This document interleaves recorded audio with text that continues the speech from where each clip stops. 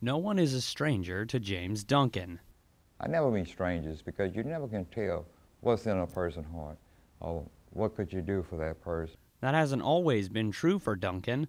Diagnosed with paranoid schizophrenia and later bipolar disorder, Duncan sometimes saw himself as a stranger.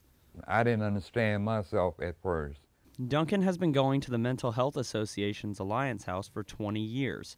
The house offers Duncan and others education services, nutrition classes, art programs, and more. MHA Director Melissa Silva says their organization wants to help the community understand its clients. James is a, a wonderful, wonderful individual who, you know, unfortunately sometimes is, is feared by those in the community because of ignorance. It's not about how it looks, it's how somebody look at your picture.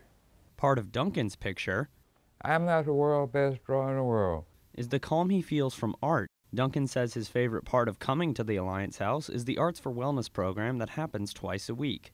Um, when you try and you do your best, like that's the best artwork of all. Art is all about creativity and self-confidence and bringing back self-esteem. When you present yourself with a picture, it's coming out as a picture, you know, something that you're going through with, maybe good or bad. The up and down nature of life with bipolar disorder, Duncan says, never took away from drawing or his friends at the Alliance House.